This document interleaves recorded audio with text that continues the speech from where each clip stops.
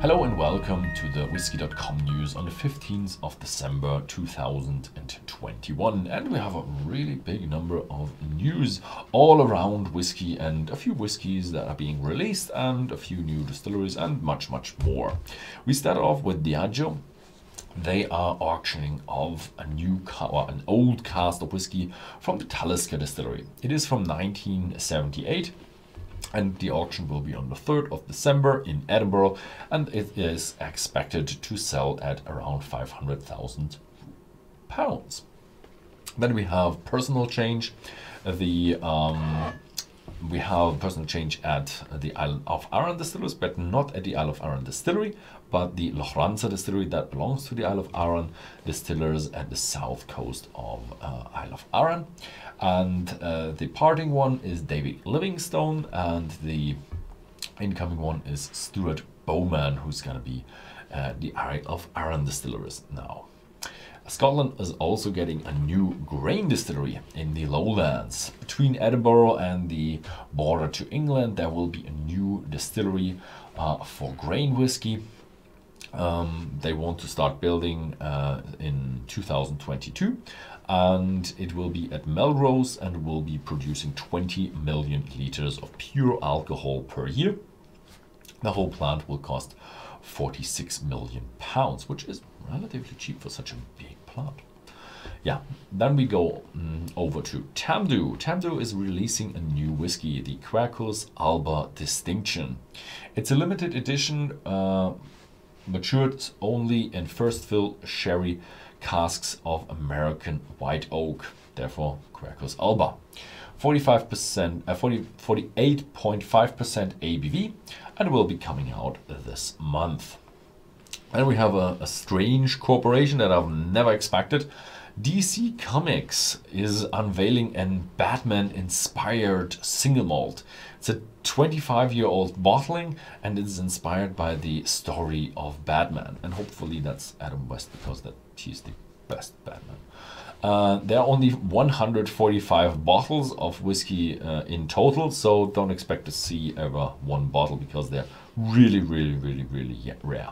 They're called Innistree Speyside Single Malt because of the fictional city of Innistree where Batman's uh, manor is standing. Um, in reality, it comes from the distillery Imperial that was closed in 2013. So the um, yeah it is very interesting what's inside the bottle, but I don't think many people will open the bottle. Then there are plans to build a new distillery in Dornoch Firth.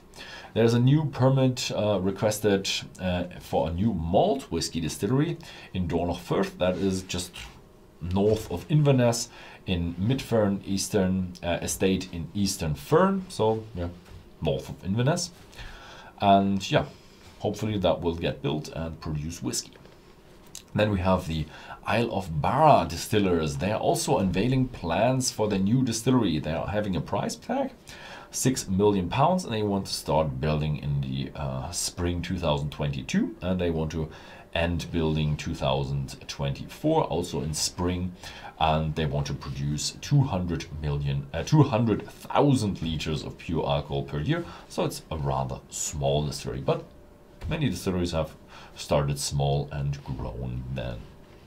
Then we have news from very, very, very expensive whiskey. Gordon MacPhail is unveiling a new whiskey collection in a yeah, showcase box. There are 17 bottles of 200 milliliter uh, um, bottles and it will be priced at 100,000 pounds. That's about 134,000 US dollars. So it's really, really expensive. Then we go over to Ireland for Irish whiskey. We have a new master blender for Bushmills. The old master blender, Helen Mulholland, is being replaced by Alex Thomas, and that's also a woman. So yeah, congratulations to Alex Thomas, and hopefully she will do a good job. Then we have buying of a new of our Irish whiskey producer. Walsh whiskey is being bought by the company Amber Beverage from Luxembourg. Unfortunately, we don't know the price what that was paid, but the portfolio of Walsh whiskey is Writer's Tears and Irishman. Then we have news from a new Irish whiskey that's coming out. Clonakilty distillery is bringing out the Galley Head whiskey on the market. It's a small distillery, it's a young distillery, and they're bringing out that new single malt called Galley Head, 40% ABV, and it got finished in two different wine casks. So, very interesting. Might be, might be worth a taste. Then we go over to international news of whiskey. Mackmyra Moment Brukswhisky DLX was announced. It's the second deluxe version from that classical Brukswhisky. The, the recipe stayed the same for the single malt. Um, it was matured a little bit longer than the standard, and this time it was uh, uh matured in casks but had smoky bourbon in them.